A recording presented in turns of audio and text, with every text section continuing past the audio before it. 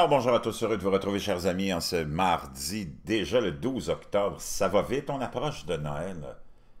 Un Noël peut-être qui sera normal.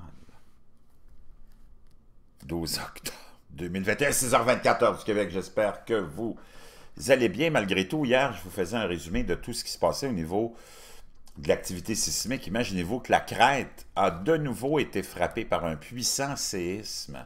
Beaucoup, beaucoup d'activités en ce moment, vraiment inquiétant. Laissez-moi réactiver ma, bon, mon, Internet. Euh, puissant séisme, un autre en Crète, euh, un deuxième en une semaine à peu près, à peine. 6.3 frappe la Crète et la Grèce. Un tremblement de terre fort et peu profond enregistré par la NOAA, l'Observatoire national d'Athènes, a été euh, catalogué à 6.3 qui a frappé la côte est de la Crète en Grèce le 12 octobre 2021. L'agence signale une profondeur de 8.2, très, très peu profond. La USGS, elle, signalait 6.4 à une profondeur de 10. Il s'agit du deuxième séisme puissant frappé la Crète depuis le 27 septembre. L'épicentre est situé à environ 600 mètres au sud-sud-est de Palais Castro, une population de 1000. Enfin, il y a eu à peu près 90 000 personnes, 90 000 personnes pardon, qui vivent dans un rayon de 100 euh, km. On estime que 12 000 personnes ont ressenti des secousses, très fortes, 7 000 euh, fortes, 44 000 modérées et 640 000 secousses légères. On peut voir ici l'épicentre. On a émis une alerte verte. Heureusement, tant mieux, bonne nouvelle pour les décès liées aux secousses, et jaune pour les pertes économiques. Ça se peut qu'il y ait des dommages sur certaines infrastructures et, bâtiments. Les récents tremblements de terre dans cette région ont causé des risques secondaires, tels que des glissements de terrain, on a vu ça, et qui pourraient contribuer naturellement à d'autres euh, conséquences. Des fois, euh, perte de vie aussi dans les glissements de terrain.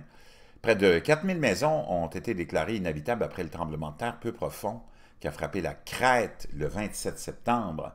Mercredi, le 6 octobre, les équipes d'ingénierie du ministère des Infrastructures avaient inspecté un total de 8540 bâtiments, dont 7000 euh, logements, dont euh, près de 4000 sont, soit 56 euh, ont été déclarés 56% inhabitables. De plus, 345 ou 52% des locaux commerciaux examinés sont instables ainsi que plus de 4 sur 5 ou 82% des hangars et bâtiments euh, agricoles ont été inspectés. Donc, la crête, hein, qui deuxième tremblement de terre en deux semaines à peu près, c'est énorme, énorme, énorme. Je vous reviens avec la tempête géomagnétique qu'on attend aujourd'hui et demain, qui pourrait avoir aussi des conséquences. On en parle beaucoup, je vous en ai parlé. C'est à peu près la seule chose qui nous manque. Hein? Euh, ben, on va le faire maintenant tempête géomagnétique hein, euh, qui pourrait avoir des impacts, euh, on ne sait jamais. J'ai un petit problème d'Internet, bougez pas. Je suis capable de régler ça peut-être instantanément.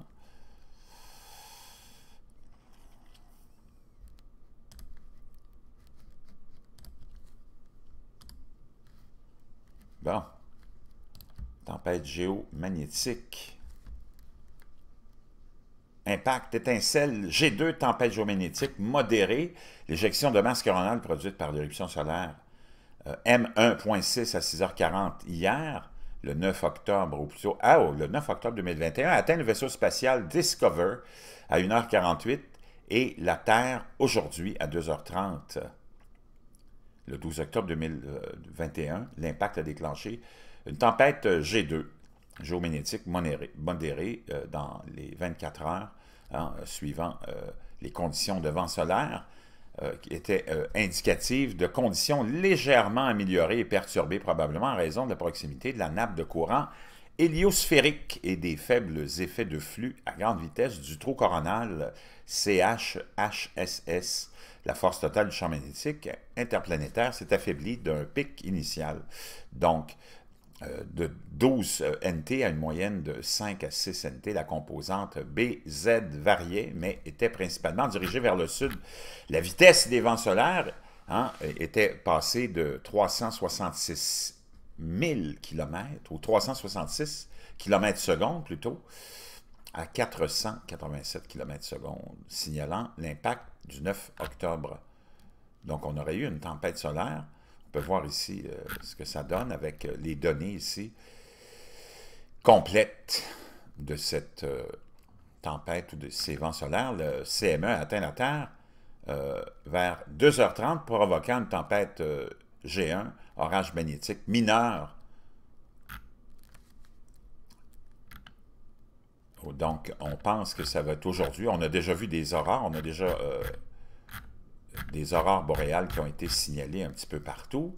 J'avais reçu un lien là-dessus aussi, et euh, qui était le suivant de Space Weather, le service de météo spatial américain, la NOAA, s'attend à ce que l'éjection de masse coronale M1.6 arrive euh, après-midi, demain, le lundi 11 octobre, tandis que le, le CDC, le euh, européen, va avec un champ d'impact plus tard, donc dans la journée d'aujourd'hui et demain.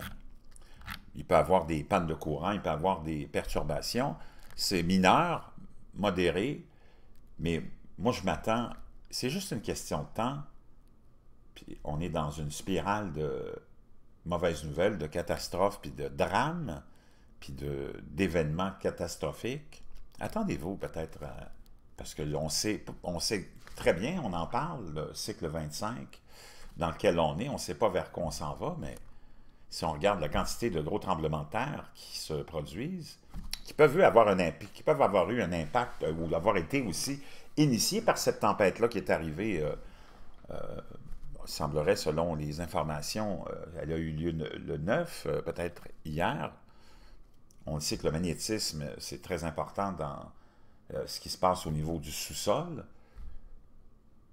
Dans un grand minimum solaire où il n'y a pas beaucoup d'activité solaire, où le soleil n'est pas puissant, son atmosphère a des trous, plus de trous qu'à l'habitude, pas capable de retenir ses éjections de masse, nous les envoie continuellement, provoquant souvent des, euh, des tremblements de terre assez puissants. Donc, tout ça, ça va être à observer, analyser, garder un œil là-dessus vraiment très important pour qu'on puisse euh, savoir vers quoi on s'en va. Si on embarque, mes amis, dans un grand minimum solaire, comme peut-être ça pourrait être le cas pour une couple de décennies, euh, déjà on a plein les bras, on passera peut-être pas euh, tous à travers. Je vous reviens.